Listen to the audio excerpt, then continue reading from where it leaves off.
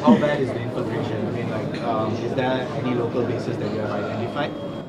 It has not started yet because the, the offensive only just started today. So um, intelligence have informed me um, and also international intelligence have informed me the numbers are not going to be small.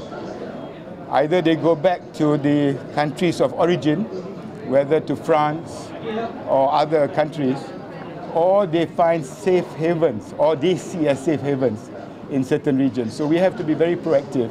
Uh, we, are, we are not sure about the numbers as yet because the offensive has not really started in full.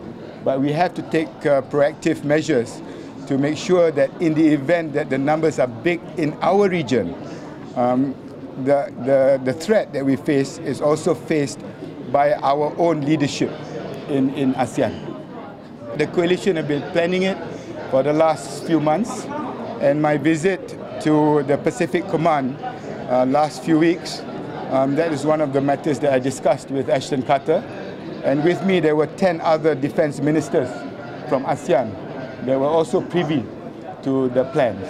Then I moved on to France, where, as you know, attacks by Daesh is rampant, and they have faced so many um, um, challenges in dealing with Daesh. They are, too are very concerned. Turkey is directly involved in the coalition and uh, the involvement in Mosul, Raqqa, and Aleppo. So those are the three very strategic partners that Malaysia is working very closely with on this matter.